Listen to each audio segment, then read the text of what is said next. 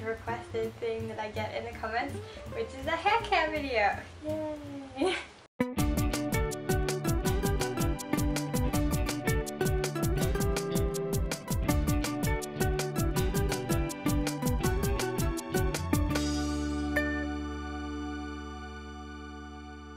So I guess I'll start with the basics first. Um, what exactly do I do to take care of my hair? I don't really have that much of a routine, which is probably why I've put this video off for so long, because it's not really easy to just say I do this, this and this because I'm really lazy and my routine changes quite often because of what I have on hand or what happens to be in the cupboard or what is within arm's reach. Once a month, maybe once every six weeks, um, I'll dye my regrowth blonde.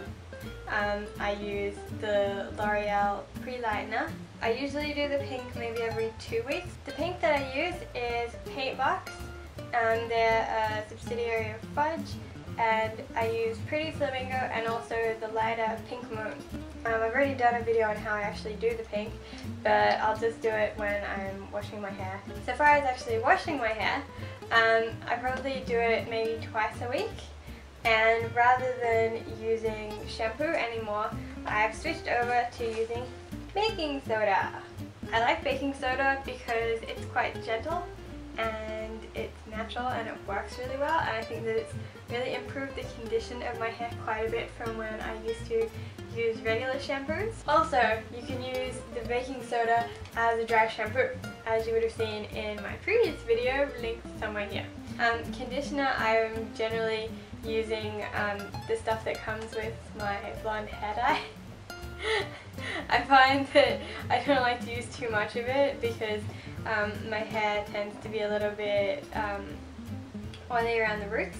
So I've been using the KMS Free Shape Quick Blow Dry thingy, which is basically it's a two layered thing and you shake it up and you spray it on your wet hair and it dries really quickly after that.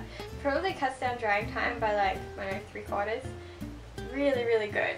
I try to avoid using heat on my hair as much as possible, so I don't like to blow dry it too much unless it's, you know, really, really cold. And I'm using the blow dryer mostly for warmth. I will try to do pin curls if I have time the night before. Um, I also, if I just want like, you know, kind of wavy like this, wearing my hair in a bun the night before gives that effect really well. I've recently started using this big comby thingy to brush out all the tangles because I know you're not supposed to use an actual brush on wet hair because it's much more um, damageable. Damageable, is that a word? Yeah. It's much more damageable when, when it's wet. So to get the tangled out, I've been using this Gigantor brush. it looks like some kind of, you know, clown. Novelty comb. Yeah. Get it out of like the world's biggest Christmas cracker. But it does the job. I try to only buy products that have a built-in heat protector because I figure, you know, if all the products I use have heat protector, you can't go wrong.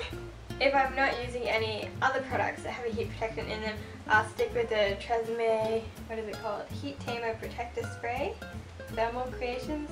Why do hair products have so many names? You don't need like a seven word name for your product, just call it heat protector. As far as heat styling goes, this is my mini straightener. I use it for everything. But it's so versatile. You can get like really tight little curls or you can get big waves or pretty much anything. This is my other can't live without heat styling appliance. It's a VS Sassoon Big Hair. Basically, it shoots hot air out of it. When you press the button, it spins around. So it's like having a hairdryer and a brush, but for people who are uncoordinated like me. I use it for my fringe pretty much every day. Obviously the most important thing that I use is my brush. This one, really good. Of course mine is decoed, because why wouldn't it be? And I also use a teasing comb, which is super useful. Um, I used to just tease with my regular brush until one day I decided, hey what the hell, this is only two bucks. And bought a teasing comb, and now I will never go back to my regular brush. It makes such a huge difference. Pretty much the only thing I ever use in terms of actual hair styling products is hairspray. The thing that I like about it is that it's brush out. So you could spray it in your hair, you can put it in really thick, I mean you don't have to because it's pretty good at holding. but if you want to, you can spray layer upon layer upon layer of it, and then at the end of the day, you don't have to wash your hair. All you have to do is brush it gently out, which is great for people like me who hate washing their hair. The other thing I've been using a lot lately has been this sea salt texturizing spray from Toni & Guy's new collection. And I'm not just using it because I was in their book, which I was. But that's not the point. I would use it anyway. when I started doing all of like these crazy braids and stuff, the one thing that I didn't like was how sort of flat and close they were to my head. Braids like that are really good sometimes, but I prefer the big sort of puffy, you can really see the texture of the braid and like the weaving of it and everything. And the way that I achieve that is with this. A lot of you also asked what kind of tools that I use to hold hairstyles up. Um, if you don't see me using anything else, it's just bobby pins. Um, pretty much my entire way of doing hair is if it's not staying, add more hairspray and pins.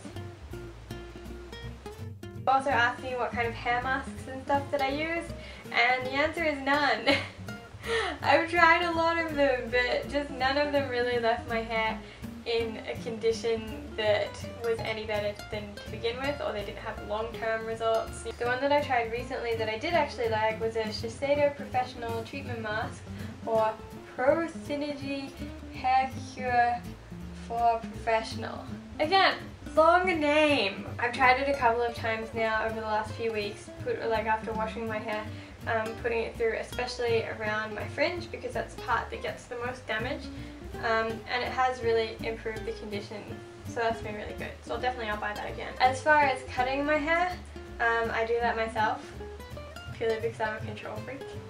I don't leave split ends for a long time because leaving split ends while you're trying to grow your hair out is really shooting yourself in the foot because the longer you have split ends the further up the hair shaft they go and the further you have to cut to get rid of them eventually. People are asking how two years or two and a half years worth of bleach has not killed my hair yet. I've been following the instructions very clearly on um, all of the products that I use, so the dyes, the bleaches, all of that. You can see sometimes the ends of my fringe do get a bit damaged from the bleaching because they're the parts that get it the most often. The ends of the fringe tend to get a little bit raggedy. When that happens, I just snip them off. So I think that's pretty much everything. If you did have any other questions, just let me know in the comments and I'll try to answer them next week. Or if you want to suggest a topic for next week's Friday video, add that in the comments too. These last few weeks have been pretty crazy so I wanted to keep you guys up to date with what I've actually been doing. I was in a national campaign for Toni and Guy which is called Hair Meets Wardrobe Blogged and Bound.